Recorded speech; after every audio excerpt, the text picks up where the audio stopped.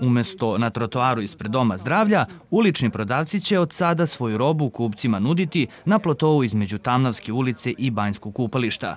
Takođe, robu će prodavati na novim montažnim tezgama koje su besplatno dobili od opštine Obrenovac. Ono što smo kao gradska opština preuzeli kao obavezu, kao pre svega socijalno odgovorna opština u odnosu na te ljude koji su e, živeli i zarađivali hleb tako što su na trotoarima i na ulicama prodavali polovnu robu. Dogovor je bio da im pronađemo adekvatnu lokaciju, znači blizu centra grada. To je ova lokacija, ovaj plato ovaj, parking servisa u neposrednoj blizini banje i na 200 metara od trga i od glavne ulice ovaj, preuzeli smo obavezu da napravimo montažne tezge koju će dobiti svaka porodica koja se bavi takvom prodajom, da te tezge budu njima uručene besplatno, lokacija im je obezbeđena koju će takođe koristiti besplatno, e, obezbedili smo za ove ljude normalne uslove za funkcionisanje u smislu korišćenja jednog mokrog čvora i WC-a koji je na ulasku e, u banju. Prodavci ističu da su zadovoljni novom lokacijom i činjenicom da će je besplatno koristiti.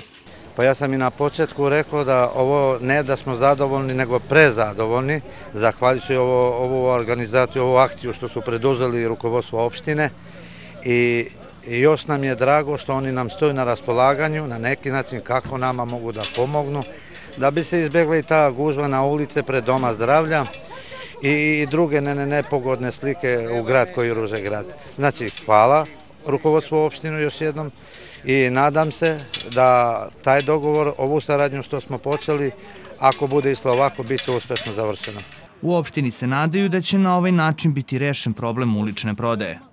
Mi smo kao gradska opština ispunili sve što smo obećali. Ovi ljudi koji su danas podigli praktično 17 tezgi, 17 njih se do sad prijavilo.